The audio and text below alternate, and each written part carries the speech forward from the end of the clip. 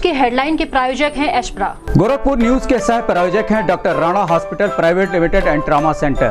प्रमुख सचिव चिकित्सा स्वास्थ्य एवं परिवार कल्याण देवेश चतुर्वेदी की अध्यक्षता में संपन्न हुई दस्तक संचारी रोग नियंत्रण माह की मंडलीय समीक्षा बैठक। अवैध रूप से संचालित नर्सिंग होम तथा झोला छाप डॉक्टरों के विरुद्ध अभियान चलाकर प्राथमिकी दर्ज करने के दिए निर्देश। कहा स्वास्थ्य सेवाओं में लापरवाही क्षम नहीं। आईजीआरएस पोर्टल पर शिकायतों के निस्तारण में प्रगति न होने पर खफा डीएम ने 30 अधिकारियों का सितंबर महीने का वेतन किया बाधित। शिकायत निस्तारण होने के बाद ही वेतन निर्गत करने के दिए निर्देश। मुहर्रम के जुलूस में ऊँटों को पुलिस प्रशासन द्वारा अनुमति नहीं मिलने पर इमाम चौक व जुलूसों के मुतवली इमामबाड़ा स्टेट पहुंचकर जताया विरोध। एडीएम सिटी राकेश कुमार श्रीवास्तव ने कहा, जल्द लिया जाएगा निर्णय।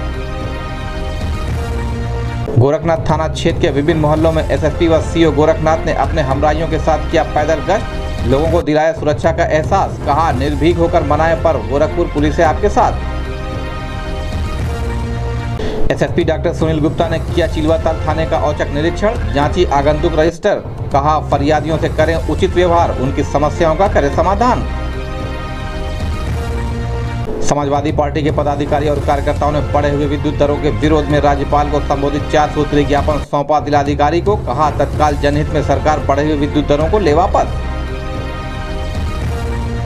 गोरखपुर के लोग जल्द ही सीएनजी गाड़ियों से भर सकेंगे फर्राटा। जल्द होगा रसोई गैस का पाइपलाइन से डिस्ट्रीब्यूशन। टारेंट कंपनी ने अपने स्टेट होल्डर्स के साथ विस्तार को लेकर बनाई रणनीति।